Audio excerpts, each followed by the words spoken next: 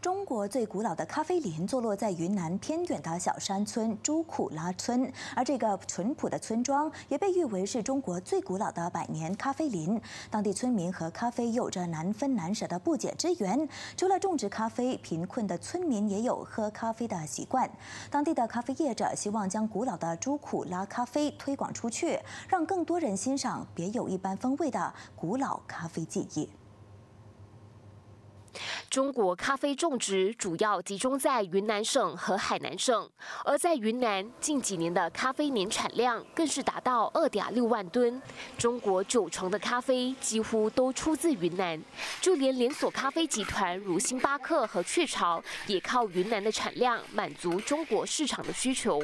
而这个偏远的村落叫做朱苦拉村，虽然贫困落后，但村民对咖啡却有特殊的情怀。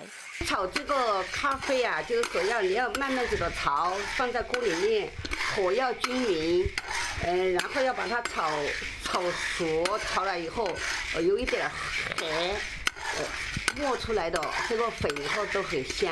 从种植咖啡、自磨到烹煮咖啡，在这个小村落，无论男女老少都有喝咖啡的习惯。一八九二年，一名法国传教士到当地试种咖啡，让咖啡种植从此在村落萌芽。一百年的，它会有点就是很浅浅黄色，然后七十多年的。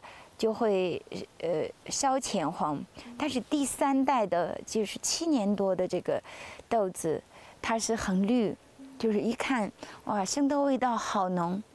但是呢，就是一二代他不会。二零一一年和咖啡结缘，万雪君在偏僻贫穷的山村开始编制他的咖啡梦。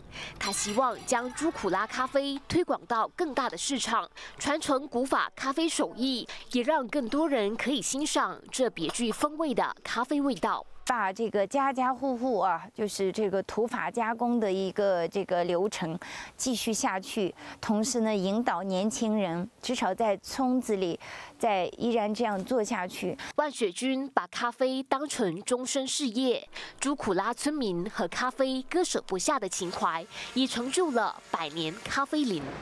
NTV 七综合报道。